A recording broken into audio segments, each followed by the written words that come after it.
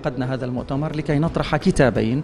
أولهما هو كتاب مختارات من شعر الشاعر العربي الكبير سليمان العيسى بتسجيل الأستاذ الإعلامي الأستاذ جمال الجيش.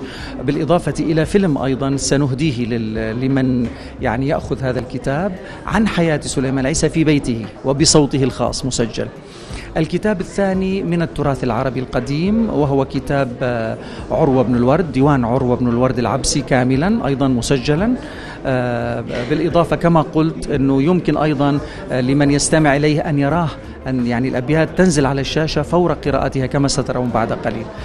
بالنسبة إلى الكتاب الناطق بتوجيه من السيد وزير الثقافة محمد الأحمد آه وبأيضا آه بعمل آه مضني ومستمر من السيد المدير العام دكتور ثائر ديب تم اختيار مجموعة من الأعمال للكتاب الصوتي. فالكتاب الصوتي حقيقة هو يهم شرائح متعددة في المجتمع خاصة من ذوي الاحتياجات الخاصة.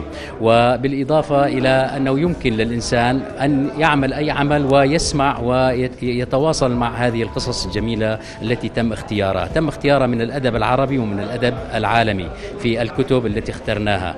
هناك مجموعة قصص للكاتب الروسي تورغ تشيخوف وهناك أيضا قصائد جميلة جدا للشاعر سليمان العيسى وهناك قصص أيضا للكاتب عبد الله عبد.